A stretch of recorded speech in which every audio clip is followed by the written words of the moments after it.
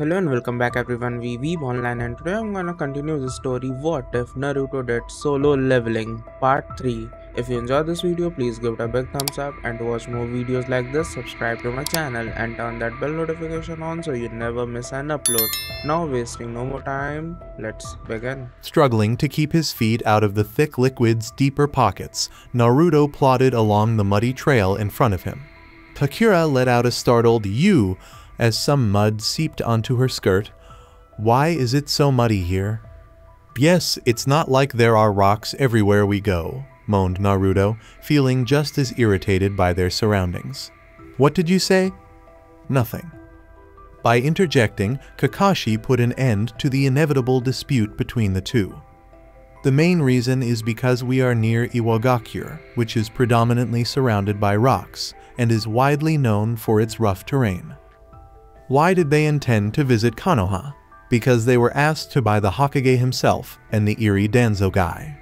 With how top secret the entire situation was, Naruto had no idea if the other Genin teams were involved as well.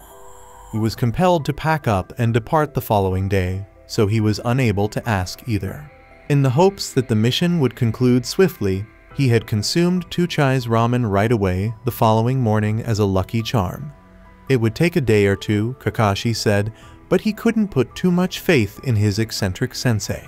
Sasuke gracefully leaped over a particularly large mud puddle. Didn't the Hokage say our mission was near the Iwa borders? With a hand on his chin, Kakashi said to himself, As you mentioned, borders was the word he used, correct? Hmm, how can I explain this? Ah, I'll start from the beginning. I'm sure you know about what happened during the Third Shinobi World War. If memory serves me correctly, Iwa and Konoha were involved in a major altercation, thought Naruto, recalling the teachings Iruka had once imparted. Absolutely right. In fact, quite a large scuffle. Territories of both Konoha and Iwa were conquered left and right, leaving citizens of their respective villages to suffer in the cruel aftermath of war. The same thing happened in the Second Shinobi World War, and though it wasn't as big, it set the roots for an intense rivalry between the two nations. And with that rivalry came a number of meaningless deaths. That sounds awful, Sakura let out a whine. Kakashi scowled behind his mask. It was. Trust me, I was a part of it. In fact, believe it or not, Konoha were losing the war for a good amount of time, but I'm sure you know who turned the tides. Sasuke gave a confirmation grunt. The fourth. When Naruto heard the name of his hero, Minato Namikaze, the fourth Hokage, his head twisted. Kakashi gave a nod. He managed to single-handedly change the tides of the war, gaining the title of Konoha's Yellow Flash. However, that is getting quite off topic. What you need to know is that due to the war, there were a large remainder of territories which were unclaimed by both Iwa and Konoha in fear of retaliation from both sides. Sakura lowered her head in perplexity and spoke a little more slowly. Huh, that doesn't make much sense, does it? Why doesn't someone just take it? These places aren't just any regular back of the country towns. They were previously battlefields that shinobi fought on and died. They are reminders that war once existed and should never happen again. If Iwa suddenly came and proclaimed they owned lands such as these, it's practically announcing they are ready for another war. Konoha and Iwa have had multiple talks and agreed to keep the border areas as a peacekeep of sorts. Danzo mentioned that we would compete with the other Genin teams, right? How in the hell would this work out well if we competed against Iwa who harbored hatred towards us that we were unaware of. With a panic attack at the thought of confronting the Iwa shinobi, Naruto questioned.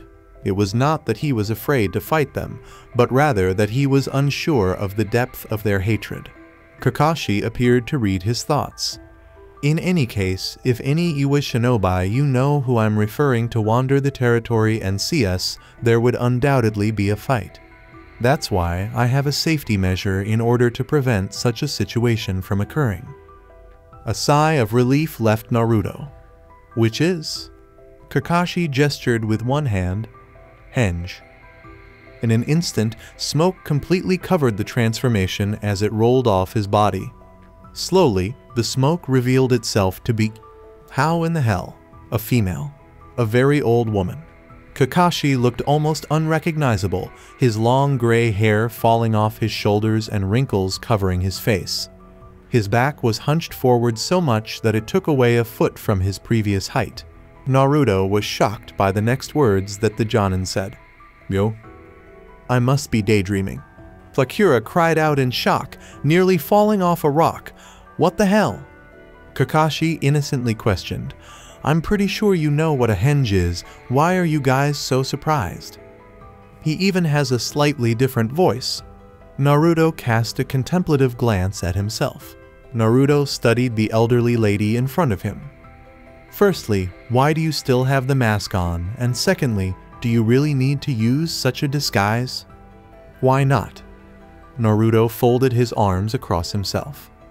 Isn't it oddly suspicious for an old woman to be traveling around bordered areas by herself and three other teenagers? Just then, Kakashi released the henge and smoke burst forth once more. You're right, I just wanted to have some fun. In any case, henges aren't always so useful. If an enemy sensor is present in the battlefield, it would be incredibly easy for them to tell who is using henge for now, we are just using the technique to hide our real looks. But why? Sasuke inquired, expressing the opinions of Sakura as well as Naruto. At the moment, Naruto was genuinely unaware of the purpose of the henge. It's not like their appearance would make a fight any more likely, even if they got discovered. It appeared that Kakashi was taking needless safety measures, something he never did. Kakashi, being careful not to look at any of the genin, said, It's not to be recognized by any Iwa shinobi, trust me. Considering this is a competition, the Iwa genin may target you in the real Chunin exams. Maybe no one really noticed, but I'm lying through my teeth here. The real explanation has to do with Naruto's hair. His fair hair, highly unusual in these parts, would undoubtedly draw attention. I can't allow them to establish a connection between him and Sensei Kami Forbid. As Naruto turned to face the path ahead, he noticed that building shadows were starting to form. Kakashi brought everyone's attention back to himself by clearing his throat. Like I said, all of you will need to use henges. In case we encounter any Iwa shinobi, we will have to create alternate identities. Naruto's gaze expanded. Alternate identities? Yes, like a different name, look, and if you want personality, though that's not really required for this mission. Sakura inquired a moment later, How do we know what to change into, Sensei? Hmm, I'll give you some tips on what to change. Sasuke, take care of the hair, I don't know, smooth it out or something. As for Sakura, please change your hair color to black. And Naruto, you will need the most change. Naruto rebuked, slightly offended, saying, Huh, why me? Kakashi laughed. I didn't mean it in that way, Naruto. The truth is, you are the most likely to stand out in a crowd. In fact, you should change your entire face for now. Take out those whiskers, and you have to change your hair color to black. The eyes are also a bit noticeable. Hair, eyes, and whiskers. Well, I suppose that is feasible. Sasuke came to a stop. Should we just do it now? For now, just try it out, but don't let your chakra levels reach below 50%, Kakashi replied, casting a meaningful glance Sakura's way. Well, using a henge continuously doesn't use too much chakra, but it can still drain a lot if you use it continuously. Alright, I suppose I'll take care of it now. Henge, henge found. Which character customization menu would the player like to utilize? In agreement or disagreement? What Naruto was staring at was unknown to him. Yeah, I see. Beginning. Menu henge. Call. Skin. Hair. Height. Face. Body. Eyes. Do I just set everything up with my thoughts as usual, I guess? So let's just give it a shot. Naruto inhaled deeply as he tried to visualize his disguised body. Black eyes. How should my face be changed? I suppose a little bit more angular. Yes, I still have a lot of baby fat. For now, I'll also pull off my whiskers. I can grow a few inches on myself. That's my height, right? Let's make the skin a little bit paler. Hair needs to be less puffed and a little longer. Yes, please turn it black. My body should stay largely unchanged. That's it, I suppose. Mistake, set a name, please. Name, um, um, who is the guy in that one comic I read called? Ryuji? Ryuji. Yes, that is all there is to it. Ryuji has been assigned to Henge. Note, by using the Henge menu, the user can access the sorted Henge repeatedly without it changing because this particular Henge is saved in the system. Suddenly, Naruto's body was engulfed in smoke. The genin staggered right away, finding it very difficult to walk at his new height. With awe, Naruto turned to face himself. Whoa. Naruto was obviously unable to see the changes in his face, but he was able to see the changes in his body. He was not as thin as usual, but his body was more streamlined in a way. Still, it was clear that he had black hair that was creeping down his forehead. Kakashi's eyebrows went up. That's an incredibly well done henge. Most henges which are creating a completely new body are usually poorly done, but yours almost seems almost uncannily real. Hum, do you know anyone who looks like that by any chance? Naruto gave a sly smile. Nope, I'm just that impressive, sensei. Your voice as well, it's not the same at all. You could probably hold that henge for this entire mission with the amount of chakra you have as well. Regardless, how about you two? Naruto turned to face Sakura and Sasuke on the other side. To put it mildly, Sakura's black hair made her look strange. With the exception of his hair, which was combed to the side rather than being as spiky as it had been, Sasuke didn't really change. Sasuke would undoubtedly resemble the nerdy child in the Konoha library if he were to wear spectacles. Hee hee, Naruto chuckled right away. Gritting his teeth, Sasuke yelled, Shut the hell up. Sakura emerged from the smoke shortly afterward. Yeah, your henge probably isn't any better, Naru. Naruto shot her a sidelong glare. He certainly didn't miss the way she immediately looked away. In front of them was the town's edge getting closer. Fine, now it's time to drive some outlaws back to Konoha. Naruto looked up at the ceiling and moaned, Ugh, this is so boring. Sasuke gave a snort. Deal with it, Dobe. Frustrated by the injustice of it all, Naruto asked, How come Sakura gets her own room? Kakashi remarked, If you want your own room, just say so, Naruto, from the hotel room's corner. After discovering a largely deserted hotel within the town, they promptly reserved two rooms for a few days. Despite their small size, all of them could fit in the rooms. The blonde asked, How long will this mission take? I don't know the exact amount, but definitely not more than three days.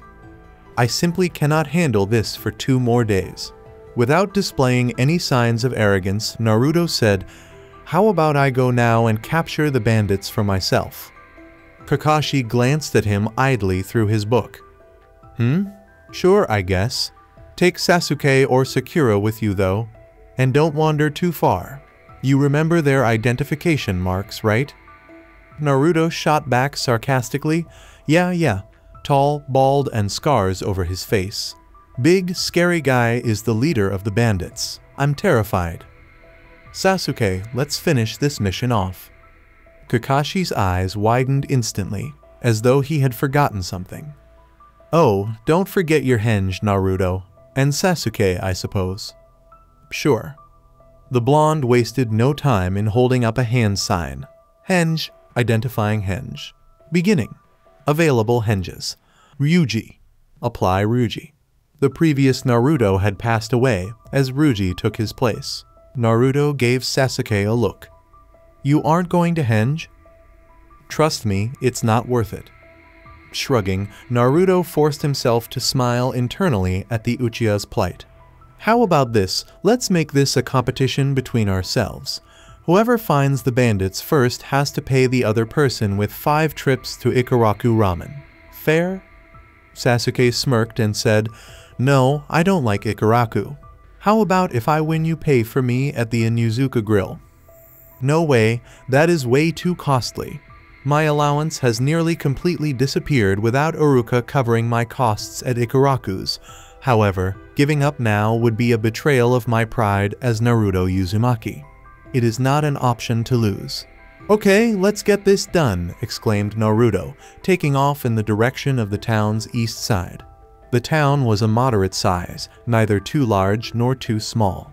There were many workers and traders moving around. It was quite busy. It was a straightforward, orderly town with a few other shops and rather large buildings. Externally, because it was a free state, Kakashi claimed that it was essentially a haven for missing ninja, bandits, and other criminals from all the villages. Naruto searched as a result, and looked around, and continued to search. The sun was setting faster and faster. A hint of fear began to seep into his being. Has Sasuke located the bandits already? Do they intend to wait for my return? Not at all. I can't give up hope just yet. On the eastern edge of the town, there remained a single building. With a suspicious gaze, Naruto said to himself, Hashi Hashi restaurant, huh? Let's go in then. Pushing open the entrance door, he entered the reasonably busy shop. Even though there were only eight or ten patrons, the atmosphere seemed somewhat busy. From over the serving bar, an elderly man exclaimed, Welcome to Hashi Hashi Restaurant. Naruto took a seat in the corner and examined every client at once. Nope, nobody in the world fits that description. Naruto fiddled with his black hair and muttered to himself, Ugh, why did I even bother? Sasuke has probably found them by now. Whatever, I'll just spend some time here, I guess. However, a few people soon after entered the restaurant. Ugh, I can't find them anywhere. It's fine. How about we stay here for a while? I guess, but there aren't any available seats, are there? Just find the most empty one. Kindly, kindly, kindly, please. From across Naruto sat a boy who was somewhat tall and a girl who was short. The girl, with her short black hair and peculiarly pink eyes, stood out against the dull restaurant decor in her red uniform and brown flak jacket. The boy dressed very differently, but in the same uniform. He was wearing black spectacles, had a paler face, and had bandages all over his right arm. What a quirky pair. How even meaningful is that red uniform? The girl gave him a quick glance before her eyes brightened. How in the hell? Hey, I'm Kurotsuchi, your name? When Naruto stammered, Naruji, he nearly immediately revealed who he was. Whether or not they knew his name didn't really matter, but keeping it a secret still felt like a mission. Her partner said quietly, Hmm, Ryuji, huh? That's quite an uncommon name in these parts, Ryuji-san. Gradually, drops of sweat began to form on Naruto's chin. Really? I never noticed. What's your name? He recoils his glasses. I am Yubuki Fujomi. Is that all? A bit of an anticlimax. With her short hair draped around her shoulder, Kurotsuchi questioned, Well, Ryuji, what are you doing here exactly? All right, nothing happens now. Naruto spoke without missing a beat, saying, My family are well-known merchants around these areas, so I've come here for some trade by myself. As of right now, I didn't really have anything to do, so I wanted to travel around the town for a bit. Kurotsuchi gave a sympathetic nod. I see, so that means you really know about who comes and goes around here, right? Naruto stopped. Although he didn't want the conversation to go in the direction it was going, he had to continue lying now or it would become suspicious. Correct. Kurotsuchi leaned in to Ryuji's ear, whispering something. So, this is going to be oddly specific, but have you seen a tall, bald man with a whole lot of scars on his face? He's really creepy and stands out in a crowd. He probably had five or six goons around him. Naruto froze even more, if that was possible. These guys, who the hell are they? How come they match the description I received from Kakashi? Unless. Look, noting. Observation accomplished. Kurotsuchi is her name. Titled Iwa's Princess. Employment Iwagakure Genin. Level LV 17. HP 100,100, MP 100,100, 300 300 chakra, STR 13, VIT 10, Dex 15, Int 6, Wise 4, Luck 5. As Naruto read the otherwise innocent girl's stat line in front of him, his heartbeat quickened. His misfortune was genuinely appalling. This is the kind of place to meet the rival Iwa team. It seemed as though Kami was attempting to discourage him or something similar. Aside from the primary problem, Naruto discovered she was a level higher than Sasuke's and thus a level higher than his own. Do they really have so much more strength than we do? Naruto questioned himself, shocked by what he had witnessed. No, he knew firsthand that the level system wasn't always everything. Naruto, however, noticed something else about her stats. The heading. Iwa Princess? Is she some sort of royalty? The future of the Konoha Genin didn't appear promising. It was, in fact, awful. I should probably go back to the hotel for the time being and organize an attack for later. However, I also can't let Iwa capture the bandits beforehand. There is now just one remaining choice. I'll just have to keep playing the bluff. Naruto questioned sarcastically, AI may or may not have seen him, to be honest. Why are you interested in knowing? Kurotsuchi turned to face her teammate, who gave her a persistent shake of the head. Then she shrugged and turned back to face Naruto. Well, Ryuji, the truth is, we're both shinobi. Naruto let out a gasp. No way. Smugly, the Iwa Genin nodded. It's true. I don't have my headband right now, considering I'm wearing a disguise, but I can show you a jutsu if you want. Yubuki gave his teammate a scowl. Is it really necessary to tell a civilian about all these things? Anyone could be part of the Konoha team, you know? Kurotsuchi gave Naruto a suspicious look. Are you part of the Konoha team, Ryuji? Naruto gave a shrug. What's a Konoha team exactly? Looking back at Yubuki, Kurotsuchi gave him a I told you so look. See? Whatever, it's clear I got sidetracked. Anyways, do you recall such a man? Naruto gave a headshake. No, never. She sighed, looking down at the table with a dissatisfied expression. Ah, this mission is a pain. In the meanwhile, order some food, Yubuki. Yubuki gave a nod. Sure. Do you want anything, Ryuji? Naruto gave a blink. That caught him off guard. No thanks, actually. HMPH, your loss. Closing his eyes, Naruto reclined in his chair and took in the tranquil surroundings. Then again, though, the door opened, showing off a tall, bald man.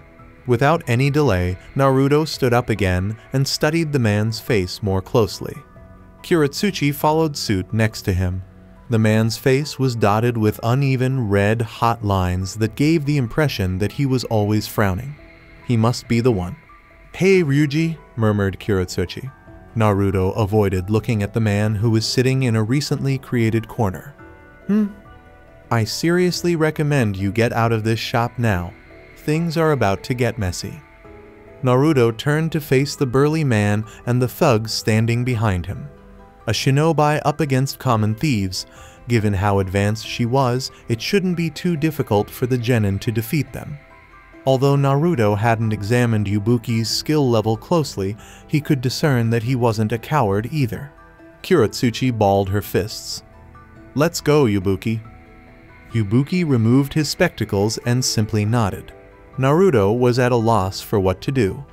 Could he just get in here right now and take care of the bandits himself? That is not feasible at all. He was probably not going to be able to defeat them both at the same time because it was a 2 versus 1 situation. Frustrated, Naruto shook his head. Damn it! Kurotsuchi wasted no time at all. She didn't take things slow or easy like her grandfather, the politician, instead she went after her goals as quickly as possible. Even demise.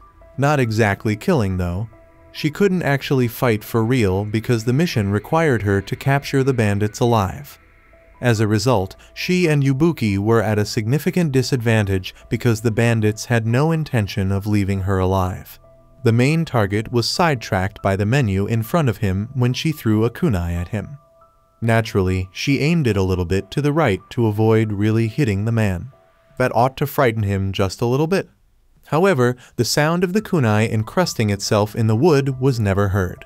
The kunai was caught in the target's hand. Kurotsuchi ought to have realized then that the man was no ordinary bandit. Naturally, though, she didn't. That was prevented by her arrogance. Rather, she lunged ahead. With a deep voice, the man asked, Someone wants to fight? To the entire small restaurant. Everyone in the restaurant had fled in fear by this point. She gestured to her partner. Yubuki, take care of the rest of the gang. I'll manage this guy by myself. Of course. It's too late to stop here, but Sensei would have advised me to wait for him to arrive. First came Taijutsu. Kurotsuchi took the opening blow with confidence, thinking the fight would be simple. The scarred man sidestepped immediately after she swept her legs beneath him. The hook that came next was barely visible to her. Too quickly, feeling the punches force through the air as it pushed against her face, the genin jumped backward. The altercation was now taking place outside the eatery. Her gaze grew strained. Lava release, bullet rain jutsu. Kurotsuchi's mouth produced balls of lava that emitted light and fired rapidly in the direction of the adversary. The deep voice raised its voice again. Water release, water wall jutsu. A wall of water blasted through the earth below, creating an almost impenetrable structure of water that completely blocked the approaching attacks. Ah, he is a shinobi as a result. Not important. A kick landed on Kurotsuchi's stomach, and she gasped as the force of it propelled her quickly in the direction of the building across from the restaurant. I may need to start taking this guy seriously. Ugh, finally. Saving that owner from the bandits was seriously annoying. When Kurotsuchi heard the familiar voice, his eyes widened. Ryuji? After assisting the owner to safety, the second Naruto quickly left the building obliging Yubuki's continuing battle with the other thieves. Anyhow, it was immediately clear from a quick look that the tall one was the strongest. After taking a quick look around, Naruto fixed his gaze on the man in front of him. Ugh, finally, saving that owner from the bandits was seriously annoying.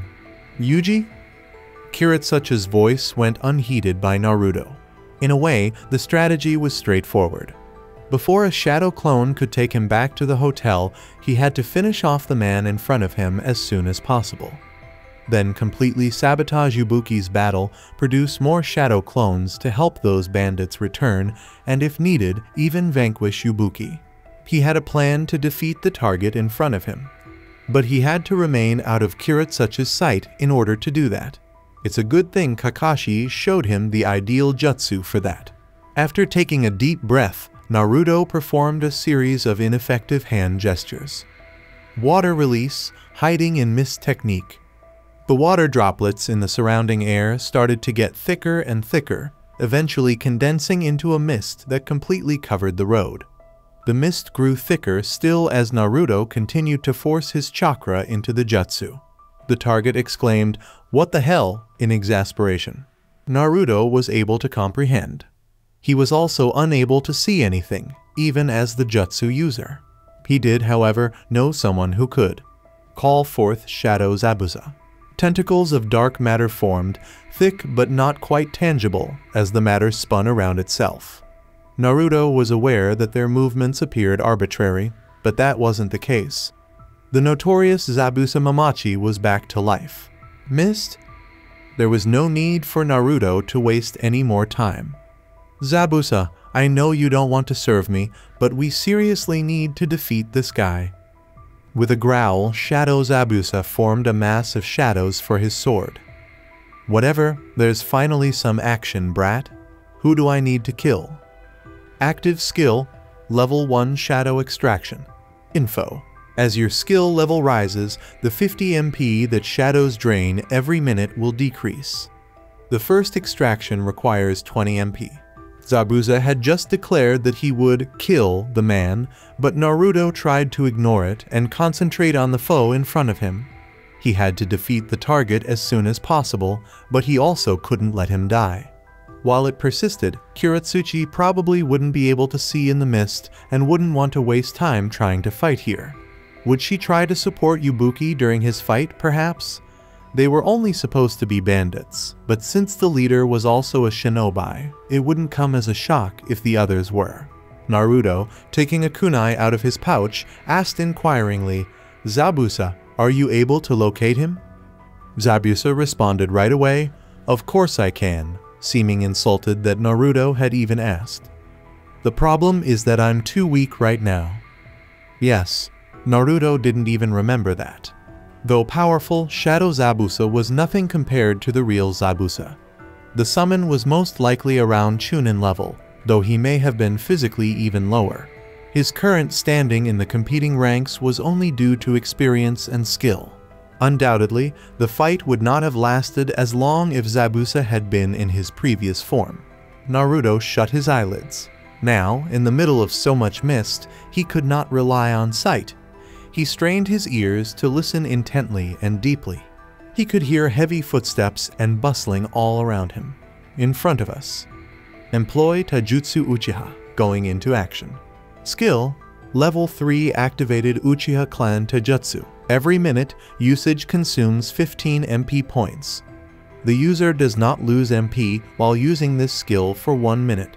After a month of training with Kakashi, his skill reached level 3 and quickly took control of his body. Naruto leaped into the air, dodging the enormous body that was heading straight towards the area he had been in. The genin flinched, had he been struck by that.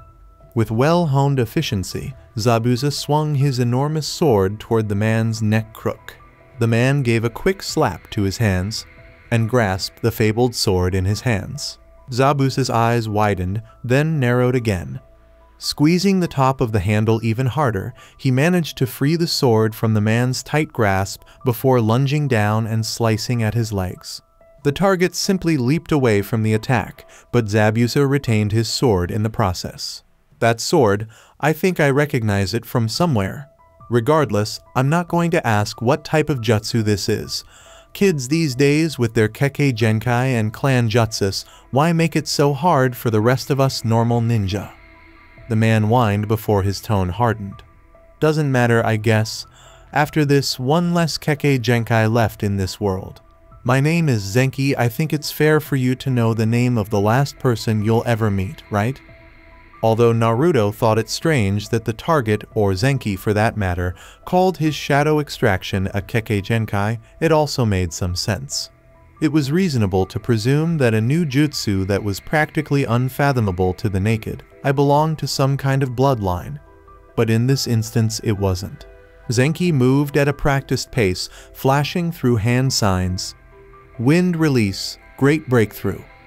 His mouth unleashed a torrent of wind, the jutsu's intent evident. He's attempting to blow the mist away, but it's unlikely that this will be successful.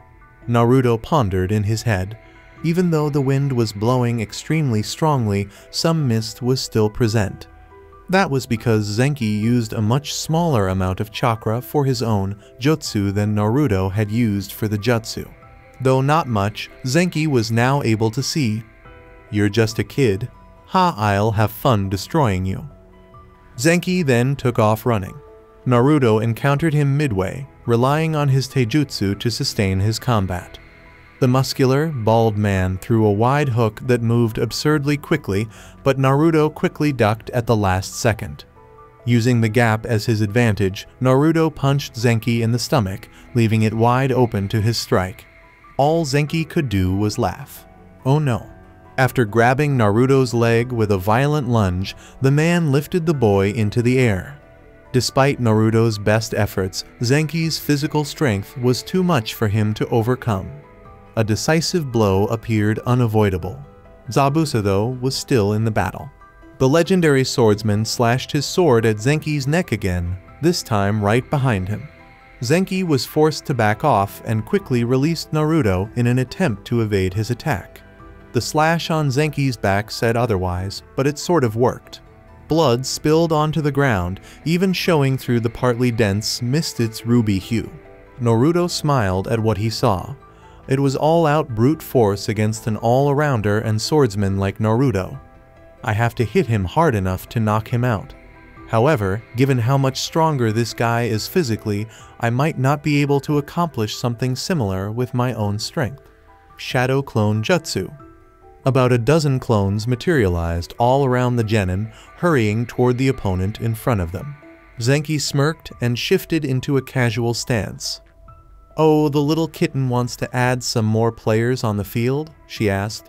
It's all right, come at me. For a split second, Zenki's muscles clenched and he leaped out of his still state. His clones did, in fact, give it their all. However, it was entirely pointless.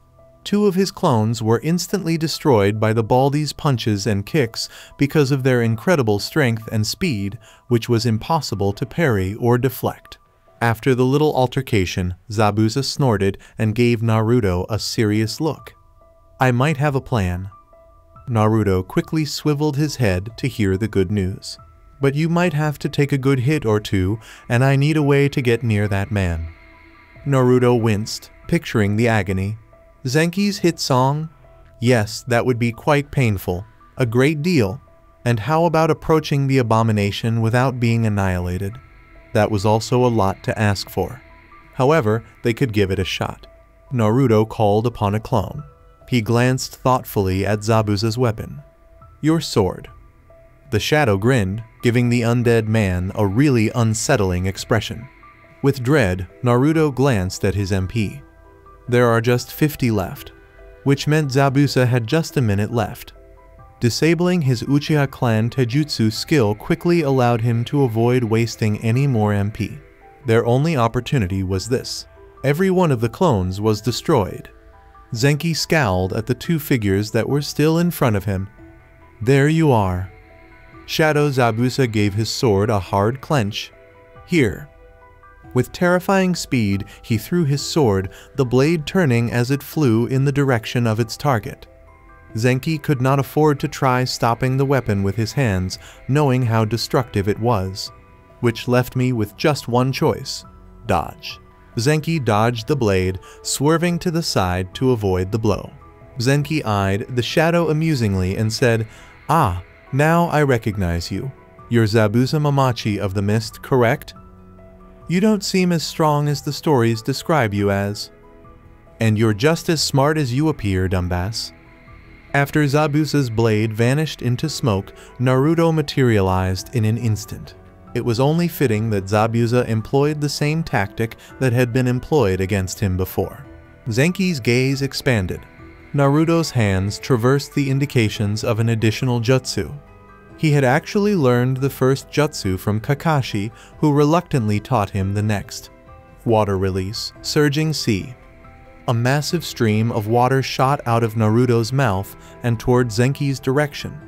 The man was heavily doused by the water tsunami but he remained perfectly still. The liquid made similar collisions with the surrounding objects. There was still a lot of water on the ground, giving the otherwise uneven road a blue tint. Standing, Naruto felt his own jutsu overwhelm him completely. His clothes were drenched, and his black hair was spread out across his forehead. He painted a little bit and then inhaled deeply. This was something he had to do. Naruto sent a chakra pulse down to his feet and started to run on water. Inconvenient, Zenki smirked as he brushed some water from his clothes.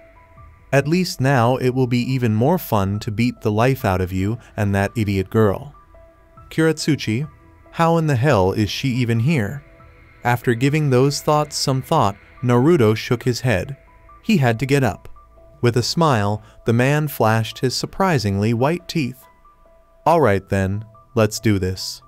A quick kick passed right over Naruto's head and he ducked. Seizing the chance to get nearer to the enormous creature, he struck his jaw with his fist. The attack made contact and crunched satisfyingly. Indeed, however, Zenki laughed once more. Naruto became utterly transparent, his blood turned cold. In an instant, Zenki was in front of him, roughly grabbing his face. With one hand, he literally lifted the genin, then slammed his face into the rocky road below. When the two made contact, Naruto's nose broke instantly, causing the organ to start leaking blood. He gasped in pain. The impact lessened slightly, and the water turned a murky red. How does it feel? the man inquired, wearing a menacing grin.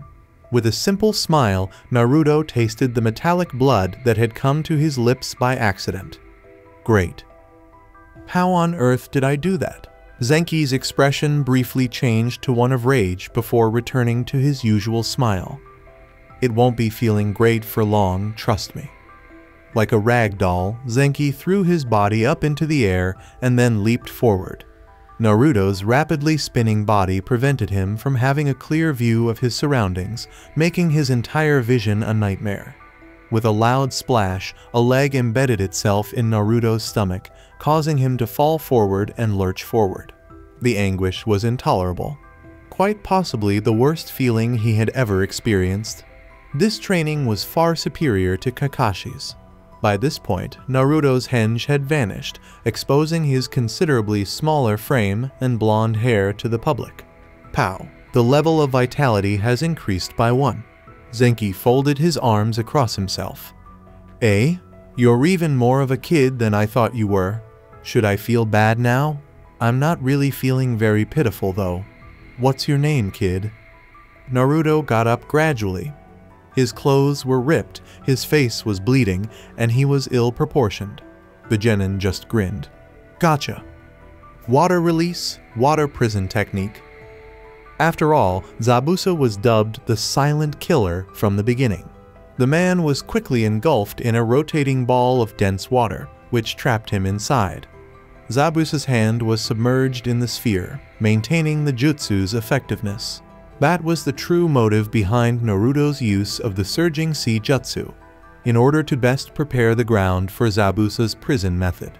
Of course, Zabuza could have used the same technique without the presence of water, but doing so would have required a lot more time and effort in order to trap Zenki, a physical monster. Inside the sphere, Zenki thrashed and cried out, but in vain. He kept punching the sphere, and it responded by trembling and shaking. Naruto made an effort not to gasp in shock. How is his extraordinary strength? Is that his normal body, or is he using chakra? Zabuza the Shadow muttered. Get done with it quickly, kid. It's hard keeping a guy like him inside. With a sigh, Naruto put his hands on his knees. That was extremely exhausting. Eager to put an end to the fight, he ran in Zabuza's direction. Look, we just need him unconscious, Naruto stated sarcastically. With the other hand, Shadow Zabuza snarled and brandished his enormous sword, asking, Unconscious? Why not kill the bastard? Naruto anticipated this would occur. The mission said, with a moan, the water prison shook. With shock, Naruto's eyes grew wide. The jail was collapsing. The man kept launching punches after punches into the sphere, and the layer of water surrounding him got thinner and thinner. In a split second, the man was set free. Zenki gave a deafening roar and jumped high to try and get away.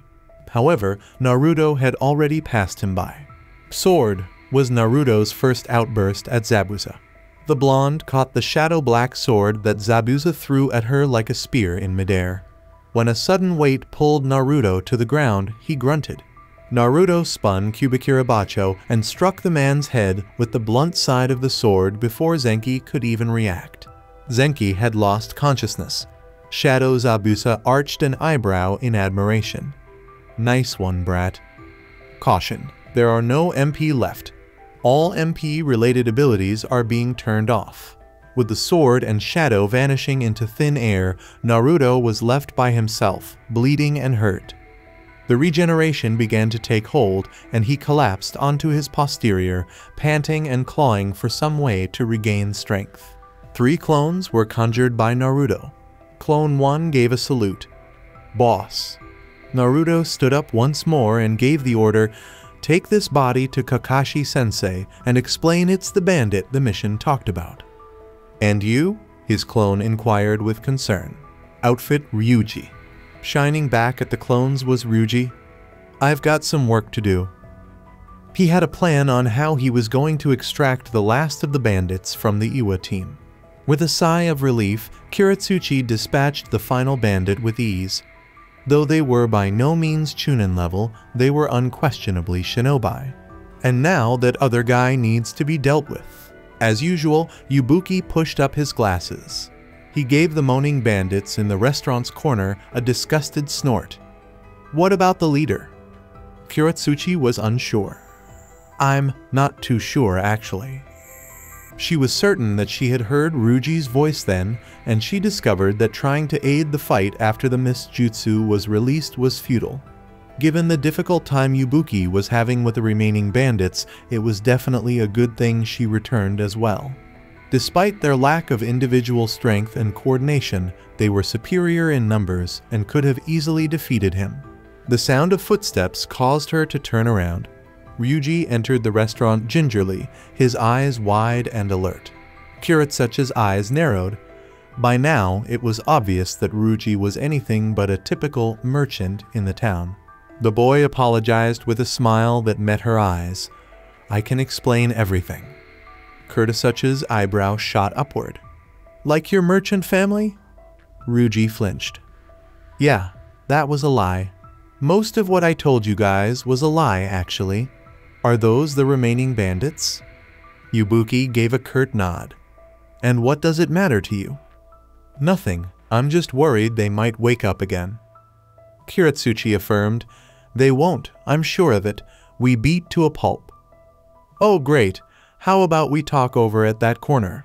I know I don't seem the most trustworthy right now, but I'm sure I can convince you otherwise, Princess of Iwagakure, and of course, the well-renowned Yubuki Fujomi, Ryuji said with an amiable grin. Kurotsuchi was taken aback. How was my status known to him? Is he one of Gramps' spies? If the old man sent someone to watch over her while she went on the mission, she wouldn't be at all surprised, especially to a place like this. Yubuki glanced at his teammate, who confirmed with a nod. We accept your offer. Ryuji joked. Haha, you don't need to be so serious, Yubuki-san, and laughed. I don't care if you trust me or not, but I assure you that I'm on your side. The three of them moved toward the restaurant's corner, where the surrounding tables surrounded them. It was at that precise moment that Ryuji realized Kurotsuchi had completely lost sight of the remaining bandits. Kurotsuchi gave the boy in front of her a fierce look. Well, Ryuji, can you introduce yourself again? This time, the truth? Of course. Well, to start off, I was sent directly here by the Iwagakure Shinobi forces. Something about a Chunin pre-examination, am I correct? Yes, that is why we were sent here as well. But I haven't seen you in any of the other Genin teams, have I? Yubuki had said. That's right, I'm not in any of the Genin teams. I was sent here to monitor the examination or competition between Konoha and Iwa, and help protect the coming Iwa team if necessary.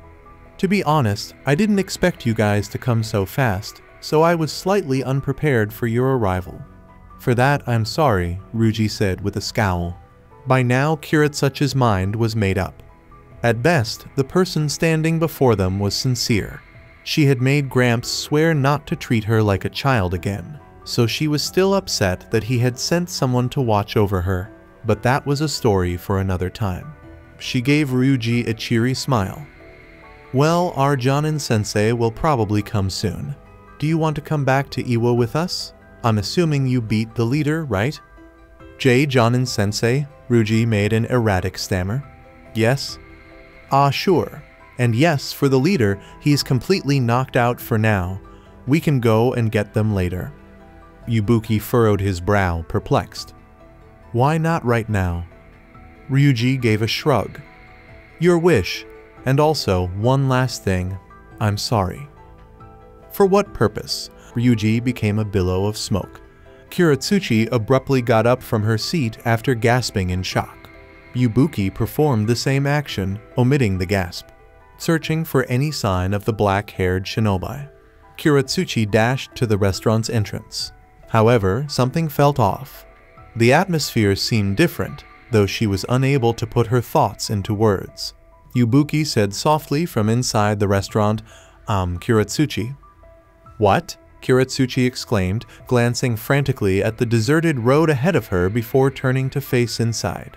The bandits are gone. How? Kurotsuchi gave a deafening cry to herself, coming to her own conclusion. The bandits had vanished from view. They were all taken by Ryuji, which implied that they had been set up from the beginning. Naruto was thinking about the memories as he hurried back to the hotel. Whoa, did that really work? The genin cast doubt on his thoughts. He had prepared his clone for the possibility that Kurotsuchi and Yubuki would have at the very least demanded some sort of identity confirmation. He had no idea that he didn't have to do that either. Naruto gave an evil laugh. Though it hurt to lie to the kindly Iwa genin, he couldn't help himself tricking people was enjoyable.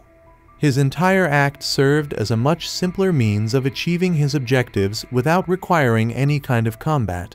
He felt compelled to lie as well because he couldn't possibly hope to defeat them both at once. Here I am, Naruto became aware. He banged loudly on the door. Kakashi sensei, it's me, Naruto. A second later, Kakashi's voice came muffled. Password? Ah, what password? Come in.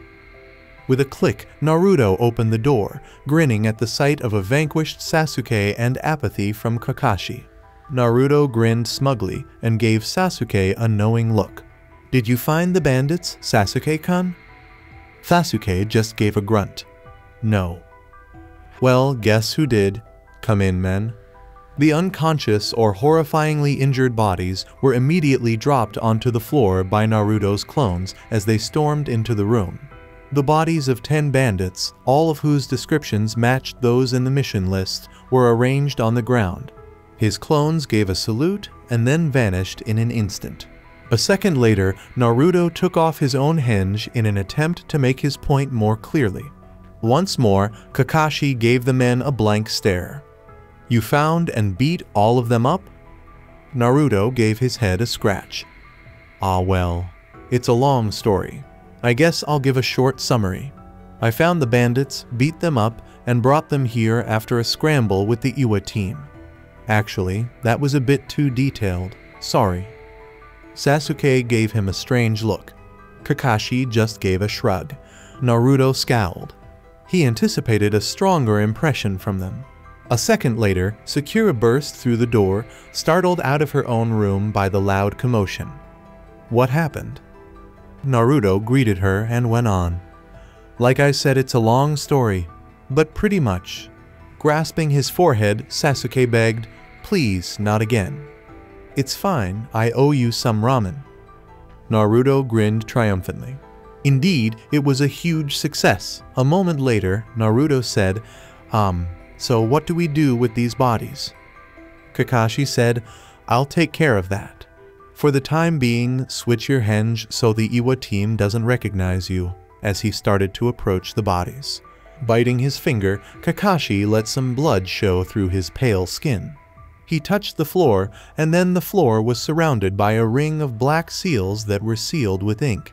Then there was more smoke, and a pack of dogs emerged. Hey, this is all getting too crazy. One week later. Naruto's gaze lingered on the strange, perfectly straight rock before him. You guys can get out now. Slowly, Konohamaru and his two companions crawled out of the apparatus. How uneasy did that feel? Naruto-sensei. The blonde let out a moan. During his entire stay outside of Konoha, he completely forgot about all of this. Konohamaru screamed, pointing at his face, You promised. Naruto searched his mind for the words he had spoken. Promised what? You said you would play ninja with us today? Naruto flinched. Was that what I said, really? Sakura gave her teammate a sly smile. Really, Naruto? Playing ninja with little kids? Not that I can really blame her. Konohamaru inquired, Boss, who's the girl with the big forehead? Oh no. Sakura's furrowed brow furrowed. What the hell did you say? With her eyes widening in fury, the girl looked truly angry as Konohamaru and his friends fled from her in fear. Then Konohamaru crashed, though, into a person. Stop it, little one, the person snarled. The individual in question exuded a spooky aura while sporting a black, baggy bodysuit, and strange forehead protector was stuck on where his forehead should have been. Why are these people from another village here? Naruto pondered. Wait, what? Chunin exams. It's unlikely that many more from other villages will arrive anytime soon, so I shouldn't be too shocked. It's just a misunderstanding in this case, right? However, the eerie child didn't end there. Taking Konohamaru by the shirt collar, he hauled him up. That seriously hurt, snot face?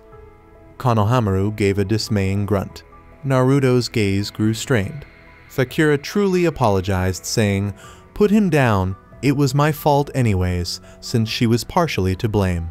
The boy who was not from abroad, a girl, then spoke up. Put him down, Kankuro, if he comes. Kankuro smiled. A, it's fine. I'm bored anyways. I don't really care. A sharp pain pulsed through Kankuro's arm, forcing him to let go of the child. Even though Naruto's kick wasn't very powerful, it was sufficient to release Konohamaru. Passively, Naruto stood before the boy, but he was furious within.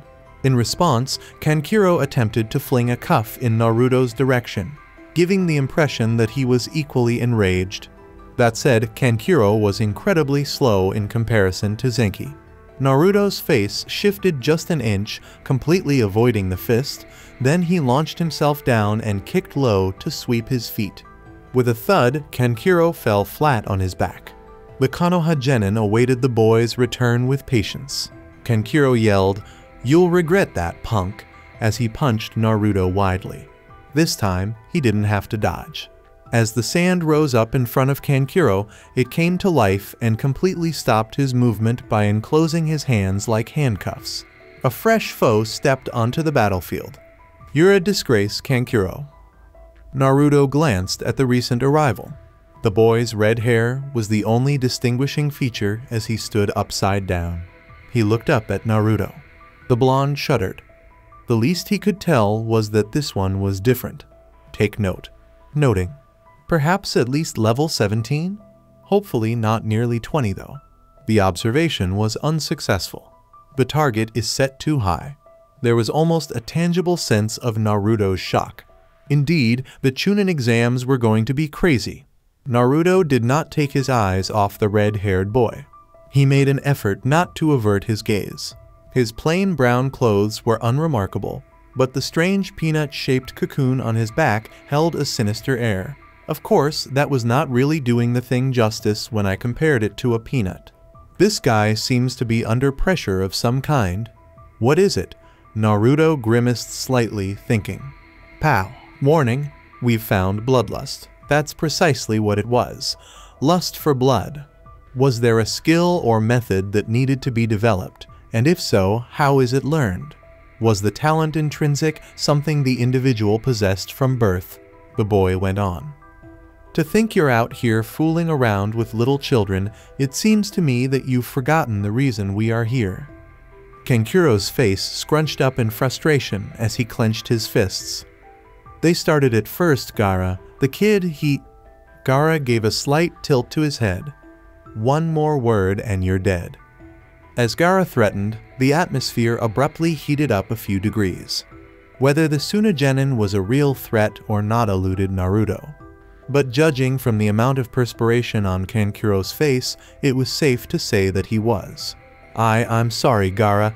It was my fault entirely, Kankuro stammered, looking down. Gaara just nodded before reversing course and falling to Kankuro's side. Kankuro sighed in relief as the sand that had been impeding the taller Genin's movement vanished into the earth below. Glancing over at Naruto, Gaara said, And who are you? Naruto turned his head to align with Gaara's line of sight, only to see the recognizable face of Konoha's lone Uchiha. Sasuke smirked and said, It's only polite to introduce yourself before asking someone else. Or do they not learn that in Suna? As he moved to stand next to Naruto. Gaara remained silent. I'm Gaara of the desert. These are my siblings, Kankuro and Temari. Who are you? What? He made threats to murder his own brother? With horrified eyes, Naruto realized. What specific type of boy is he? I'm Sasuke Uchiha, and these are my teammates Naruto and Sakura. There was no sign of recognition from the Suna shinobi. With her arms crossed, Sakura sternly questioned, Why are there Suna shinobi in Konoha land? You are our allies, but you simply can't cross borders like that, can you? With a sort of ID displayed to the group, Temari badgered, Well, you aren't the brightest of the bunch, are you? Were you not informed of what's happening in your own village? Sakura and Sasuke just observed, perplexed. However, Naruto was determined to keep his village's reputation intact in the eyes of an outsider. Of course we know, Naruto exclaimed, laughing aloud. It's the Chunin exams, and you guys have come to compete in it. After nodding, Kankuro narrowed his eyes suspiciously, which seemed strange because he had paint all over his face. Then how come your teammates were so surprised at our presence? You don't exactly look like shinobi, so it's to be expected you guys were very early, Naruto reprimanded, obviously referencing Kankuro's peculiar clothing. Sasuke could not contain his laughter. When Kankuro heard Gaara snort, he became agitated and eventually withered.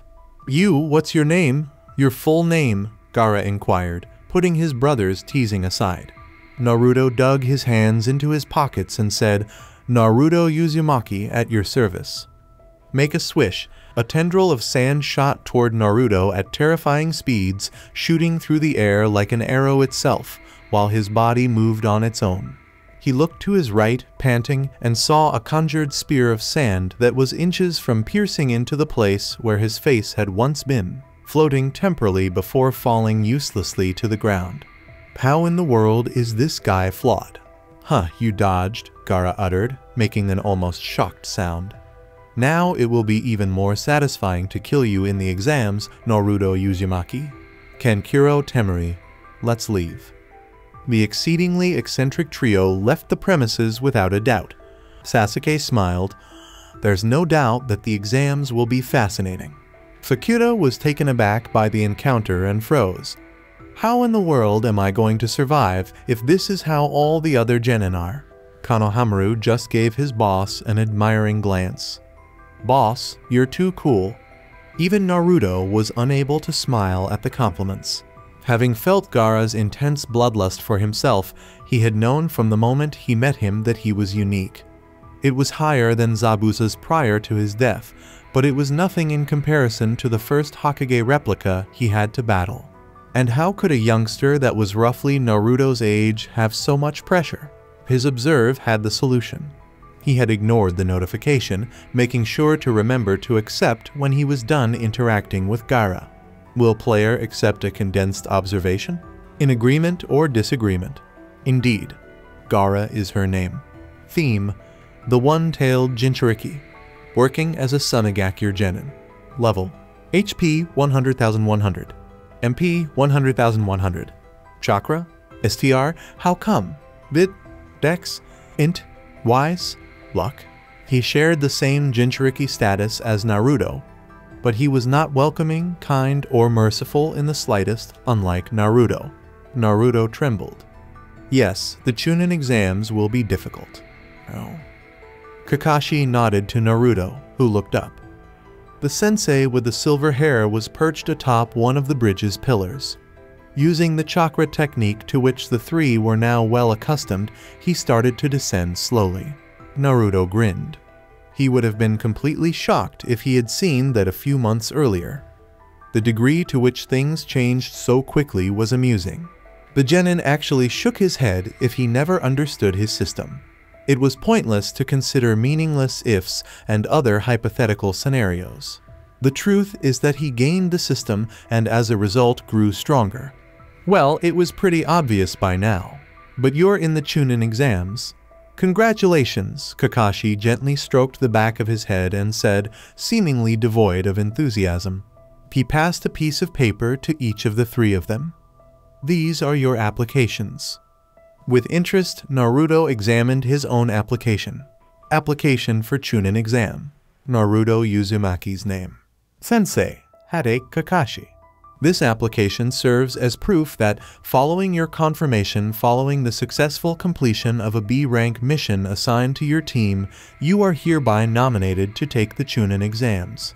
Naruto cast a bewildered glance at his sensei. Why does it say the word confirmation? Shouldn't we already be in the exam? You were merely nominated for the exam. If you don't want to enter, you don't need to show up. If you want to, sign the paper and turn it in tomorrow at room 301 tomorrow. Naruto stole a quick look at Sakura. If she tried to skip the exam, he couldn't hold it against her or hold her accountable. Her conflicted expression was fairly obvious. Perhaps a little inspiration would do. Don't worry, Sensei, all of us will be there tomorrow. You'll have three new Chunins on your team to keep you safe, Naruto laughed. The word all caused Sakura's head to raise. I apologize to Naruto for popping your bubble, but I don't see any of you turning into Chunin, Kakashi deadpanned as he leaped onto the bridge's level section. Naruto questioned, perplexed by his sensei's casual admission. Eh? Sakura and Sasuke's questions were blocked by Kakashi with a raised hand. At a maximum, only one or two shinobi become Chunin each year, and that was before this whole international business started. The other villages wouldn't send any regular shinobi to represent them, they are going to send the best of the best of their genin. There's a lot more competition this time around, with a variety of techniques you've never seen before. You can overestimate yourself if you want, but underestimating your opponent is even more dangerous. Sasuke gave a small, agreeable hum. Some villages are making legendary shinobi become Jonin just to teach some genin for the exams. Rumors say, well, you'll see once you start the exams. That's all for now. Before the Jonin could depart, Naruto let out a yell. Wait, sensei. Hmm? Desperate for any information that would improve his chances, Naruto asked, What do you need us to do to become Chunin? Kakashi was correct. There had to be more people like Gaara out there given the number of genin taking the exam. Kurotsuchi was a monster too. The opponents that the rookie genin faced had a year more of experience. The only thing you need to do is improve tremendously, and I mean at a very fast rate. Haha. Ha ha ha ha. Naruto could not contain the laughter that came out of his mouth. He received a chuckle from Kakashi and the other members of Team 7. Better, quickly, improving was something that Naruto could do quickly. Naruto stood in front of room 301's door, idly staring at his stats. Naruto Uzumaki's name. Stormbringer is the title. Vocation, Konoha Genin. Level, LV10. HP, 100,100. MP, 100,100. Chakra, 2000-2000. STR, 10. Vit, 12. Dex, 9. Int 6. Wise 4. Luck 2. Present competencies. Jutsu Shadow Clone Level 4. Level 1 Shadow Extraction. Category Sorcerer. Points for attributes 0. It came as no great surprise when he reached level 10. Naruto gained a great deal of experience from just fighting Zenki and completing numerous side missions. And that's not even talking about how much training Kakashi had given him, which increased his stats. Acquiring two jutsus was undoubtedly a worthwhile experience, as it improved his chakra regulation and self-control, ultimately accelerating his level advancement. He had invested his points in strength, intelligence, and dexterity when he leveled up twice.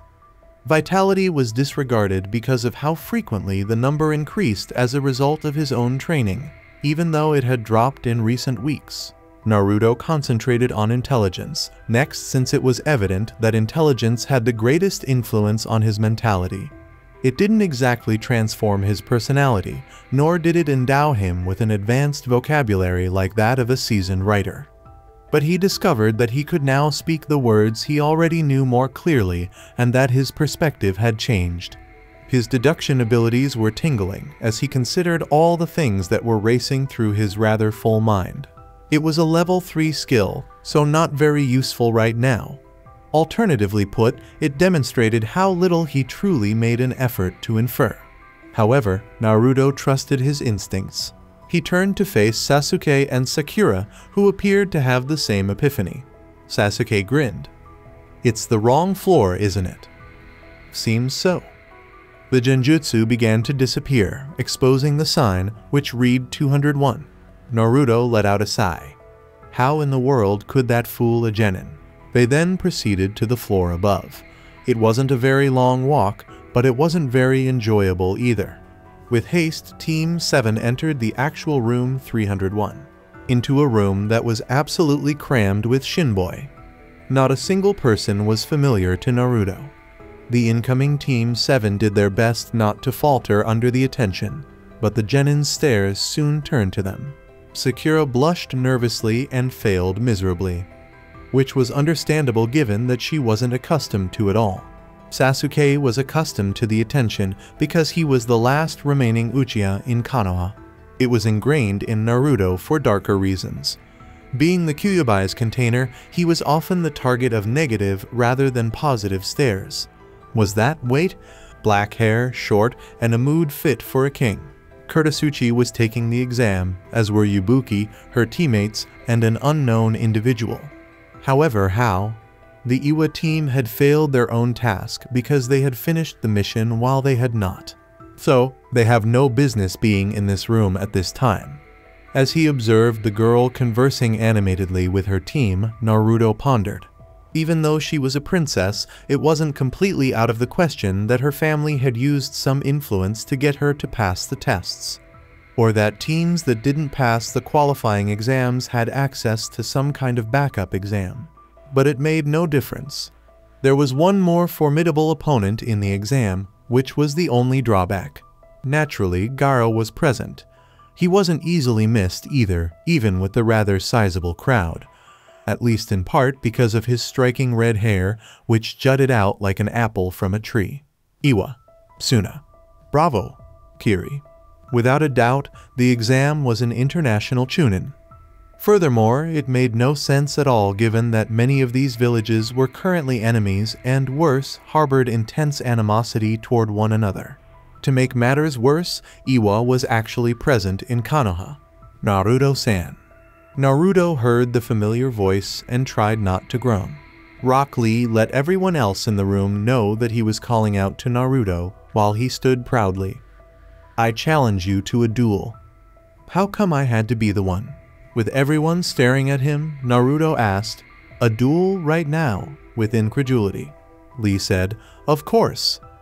I've fought Sasuke-san already, and that day I did not really want to fight you as well since he needed some medical attention.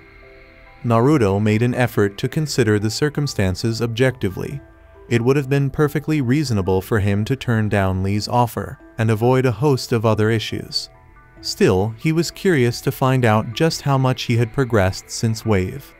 To be sure, his battle with Zenki was not an ordinary one, and his employment of Shadow Zabuza raised some red flags. Since he was definitely not allowed to use his special abilities in public during the Chunin exams, he needed to see how much he could accomplish without them.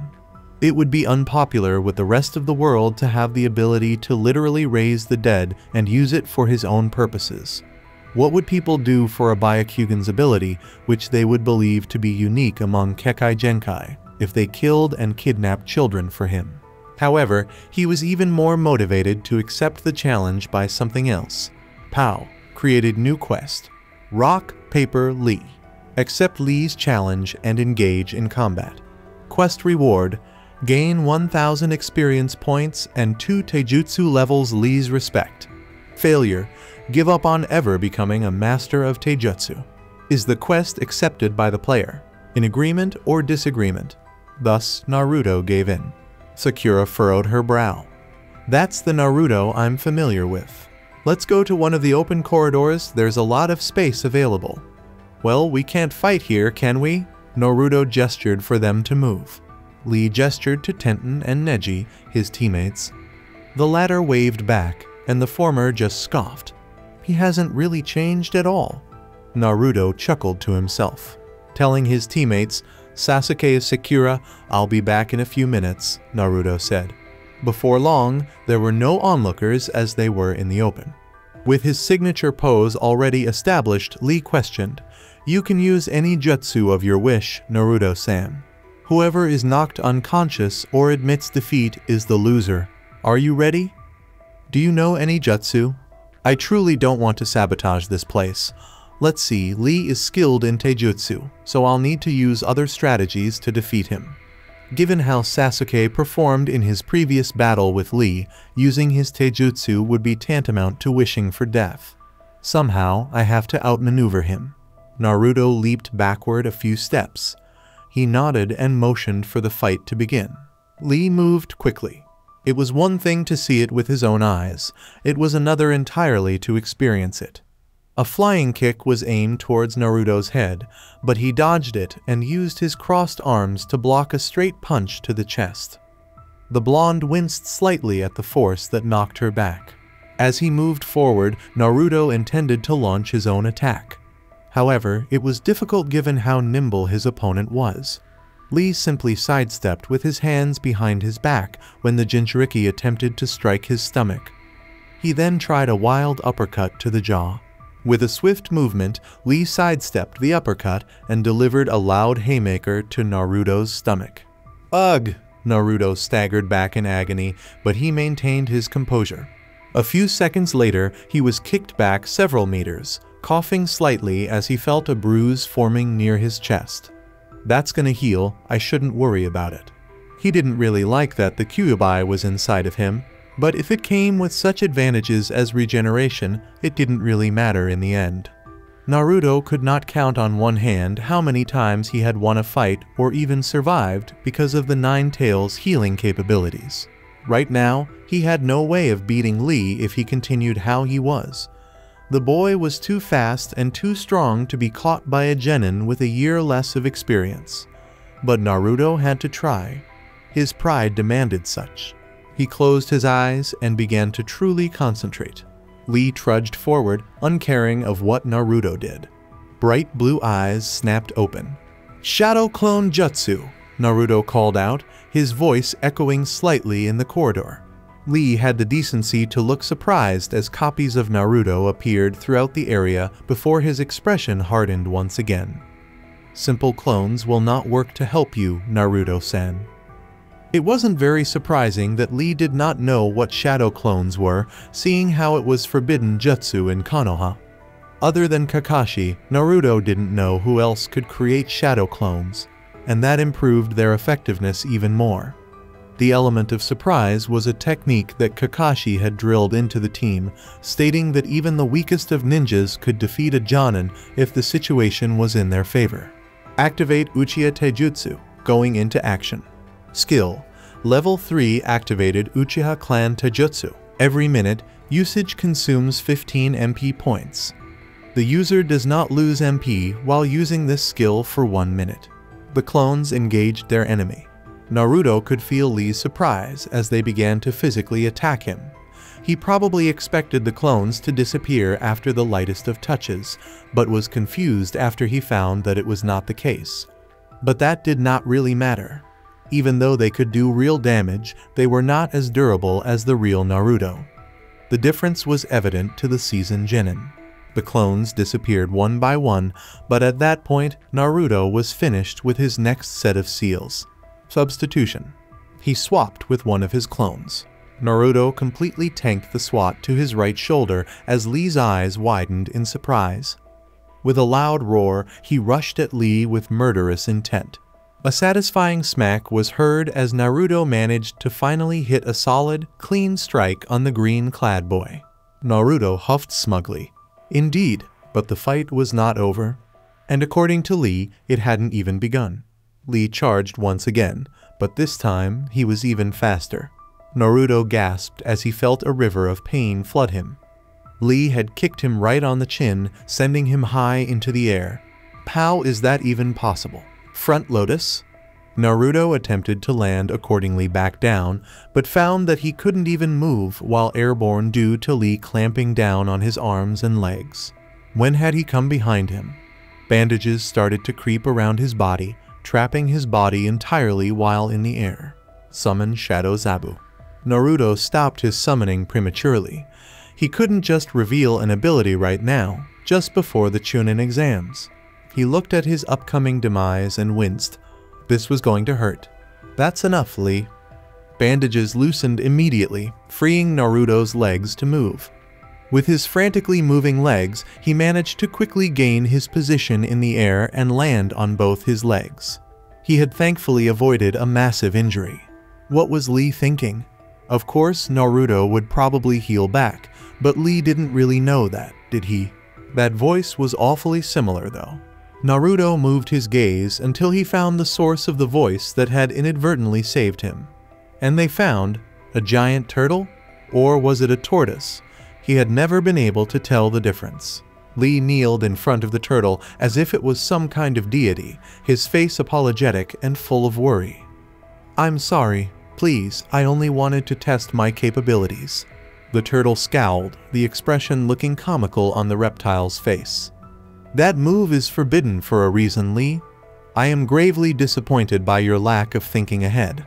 A fight isn't just about bronze, unfortunately, or your sensei would have been the strongest in our village long ago. For your lack of obedience, a fit punishment will be assigned. Naruto just looked at the conversation blankly. This had to be a joke. I promise I'll face the consequences without hesitation, Lee swore solemnly, putting a fist to his heart. The turtle nodded. All right then, I believe your sensei wants to talk with you. Smoke spun on the turtle's large shell as a large man appeared on top. With his distinctly green suit, bushy eyebrows, and exuberant pose, it was obvious who it was. Lee sensei, Guy. Guy sensei, Lee shouted. Lee rushed to his mentor, who stood still and waited. Blood splattered from the boy's mouth as Guy punched him straight in the face, knocking him back for all it was worth. Naruto stood, shocked at the sudden turn of events. Lee, you have my utmost disappointment. I apologize for not arriving sooner. Guy shook his head. Well, let's not talk about that. I'll make this quick since both of you need to leave soon. The first examination will be starting. Once the exam is done, I'll make you run around Konoha a hundred laps. Lee gave a broad smile and a thumbs up. Sure, Guy Sensei. That's what Naruto thought happened, that the two hugged each other forever. As soon as Guy brought up the Chunin exams, he had left. How could I have become so distracted? Bewildered, Naruto thought. I really don't want to think about how Sasuke or Sakura would have responded, so hopefully I didn't miss anything. Lee yelled from behind him, Naruto-san, please wait a second. Naruto bided his time until the boy caught up. What is it? The exam is going to start soon. Don't worry, Guy Sensei told me there is still some time left. We have 6 to 10 minutes before it starts, actually. I wanted to speak to you about something. Naruto was perplexed. Is there anything to talk about? He gave Lee a nod to proceed. During the fight, as I used the front lotus, I noticed something strange. I'm sure it was the case, however, as I'm pretty good at inferring things, you seem to be holding something back for whatever reason, Naruto-san, Lee said quietly as he walked alongside the blonde. The blonde was a little taken aback. Was it the fleeting pause that triggered him? It made no difference either way. Naruto was at a loss for words because Lee was right. Lee correctly interpreted his silence as approval. So I was right.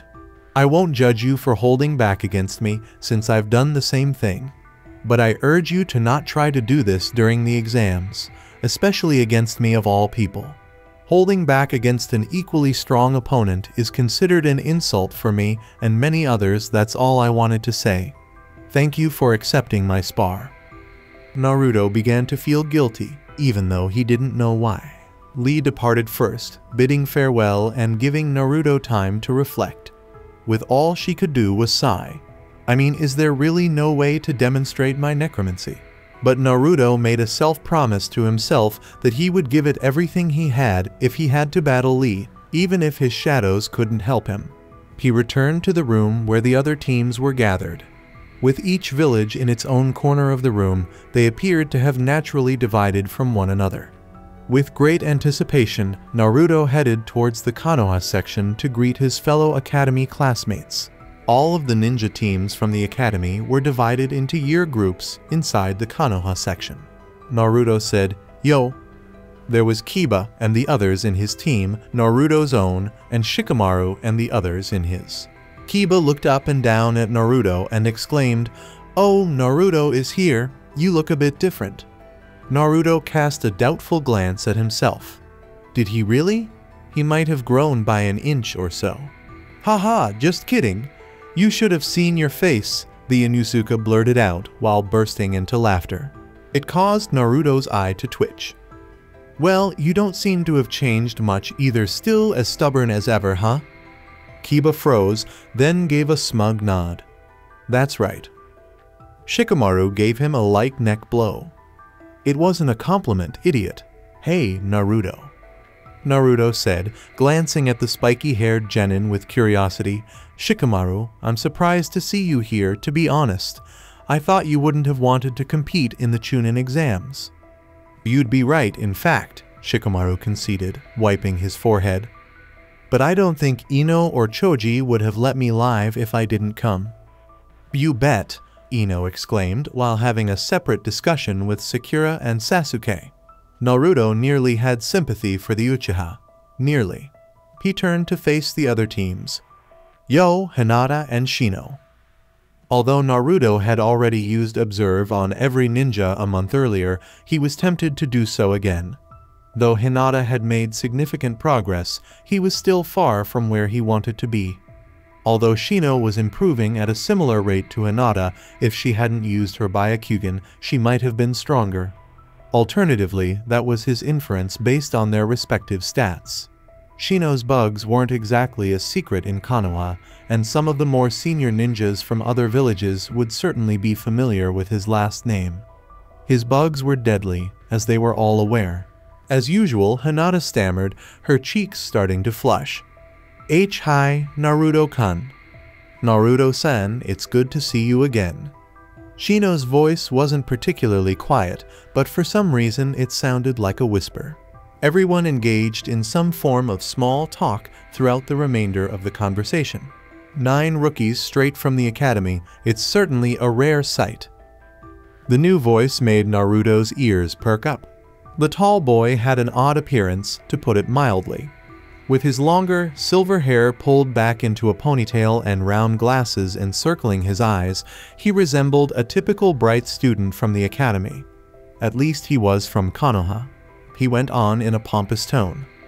If I'm being honest, you guys seem kind of naive. You really shouldn't be taking these exams so lightly. And who are you? An irritated Ino questioned. Kabuto? Trust me on this one, don't underestimate everyone around you. It's my seventh time taking the exam, and I still haven't become a Chunin.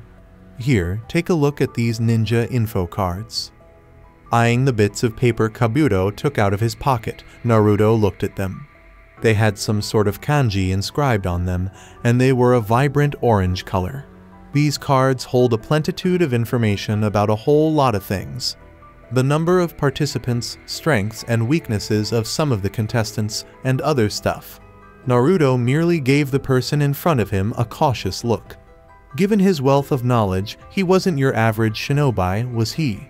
His other talents didn't seem to be affected by being a seventh-time candidate for the Chunin exams.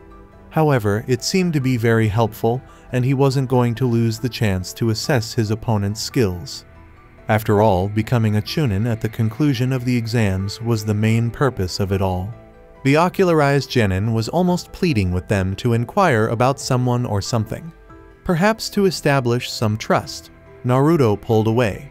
These days he had started to become overly paranoid. Naruto took a step forward. Can you tell me about Gaara? He's a genin from Suna. Kabuto grinned and began frantically riffling through his deck. When he had finally selected one, he read each detail one at a time. Gaara, huh? Well, he's quite the capable one, isn't he? 8C ranked missions and 1B ranked mission even before the entrance one. Not bad for a Genin. There's not much information on his strengths, unfortunately. As for his feats, he has returned from all of his missions without a single scratch. Naruto paid close attention. Other than realizing the boy was even more of a monster than he had anticipated, that was all he had learned from it. Sasuke started asking questions about Lee, so he ignored the others.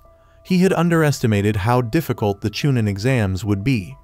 This would not, in the slightest, end well if there were any more monsters like Lee and Gaara, and that does not include Neji. Shut your worthless mouths up, all of you. The loud noise and the explosion of smoke made Naruto wince a little. When the smoke cleared, everyone could see an entire group of shinobi.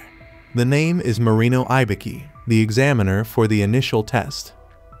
Tall and intimidating, Morino Ibiki exuded confidence and strength. His face was horrifically scarred, and his dark trench coat did little to alter his perception. Everyone please submit your applications and sit down at the seat number mentioned. Slowly, and with careful attention to everyone he saw, Naruto did so. The only foreign genin he truly recognized was Kurotsuchi, so he tried not to stare too long at her. He was curious about the exact plan of action for the initial assessment.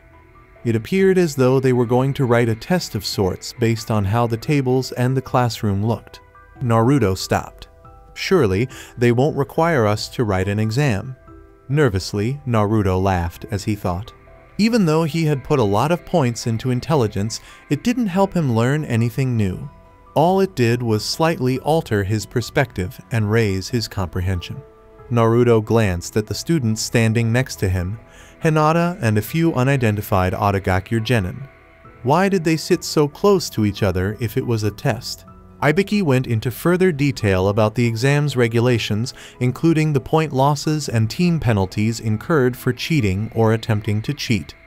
The Chunins encircling them were merely there to keep an eye on every pupil and reprimand any who were found to be cheating. And lastly, the last point. The entire team would be eliminated if any player dropped 10 points. Naruto let out a wild laugh inside his head. Naturally, of course, Naturally, none of us will be able to continue. If the shocked expressions on Sakura and Sasuke's faces were any indication, he could tell they were thinking the same things. He remained gloomy while the papers were distributed. This was not good at all. They only had an hour to answer 10 questions. Every student is aware that tests with fewer questions are the ones to be more concerned about because they have the biggest impact on your final grades. Naruto answered each question individually. Surely, at least one of them would be simple. First question. Suppose you were tossing a kunai 20 meters away from an enemy shinobi who was perched on a tree. There was a 20 degree angle between the kunai and the ground. When throwing a second kunai to hit an enemy, what angle and speed should be used if the shinobi is moving at the same speed as a chunin? As long as the scenarios you imagine are plausible, you are free to assume certain things. Naruto experienced his eyes protruding from their sockets. What sort of question was that exactly? Was there any way to solve that? If one could figure out a solution to such a problem on the battlefield, what good was it? In the midst of a fight, could someone casually calculate it all in the blink of an eye? Naruto moved on to the next set of questions, shaking his head. Every one of them was the same. In frustration, he tried not to slam his head on the table. No, no, I need to give this some thought.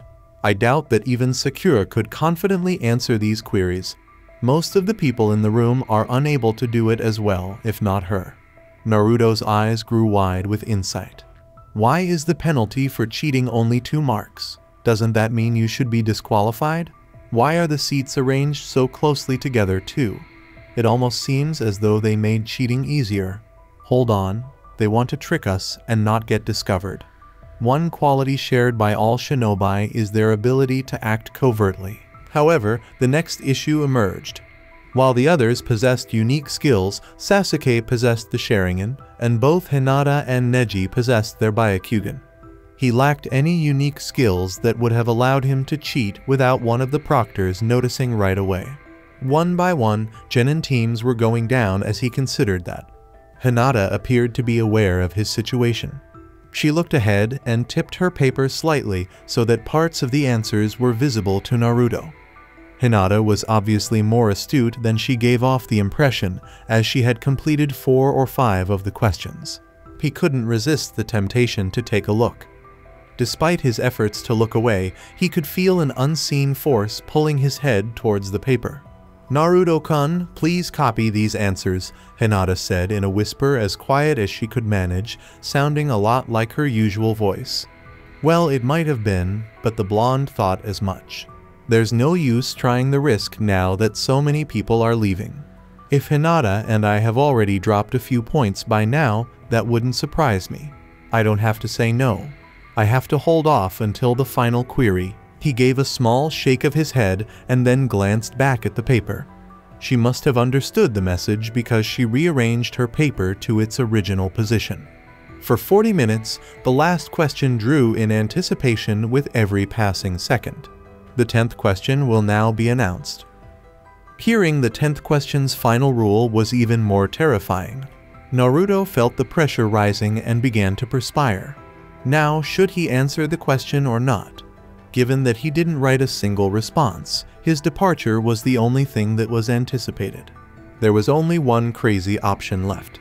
Naruto put up a hand. Ooh, before you say the final question, I need to go the restroom, please. He could feel the genin's critical gazes on his back. This was exactly what Kankuro had done a few minutes earlier. Ibiki said scornfully, Proctor, take this boy to the restrooms. After being put in handcuffs, Naruto was pulled by ropes. It was probably a handicap that made sense that the cuffs kept him from performing any jutsus. The blonde entered the bathroom and proceeded to one of the stalls. Although they weren't very clean or well maintained, they would do for the time being. After all, he wasn't there for that exact reason. The proctor yelled from the bathroom corner, Make it quick, brat, you've wasted enough time as it is. Although he was taking a significant risk, it was undoubtedly preferable to being kicked out along with both of his teammates. He would also need to be willing to get dirty if he wanted it to work. Naruto inhaled deeply. Take note. Noting. Observation accomplished. Yuta Hanami is her name. The textbook Genius is the title. Working as a Chunin of Konoha. Level 13. HP 100,100. MP 100,100. Chakra 125 125. STR 7. Vit 6. Dex 8. Int 10. Wise 5. Luck 5. He was brought out by a Chunin who was incredibly weak. Naruto was taken aback by Yuta's extreme weakness.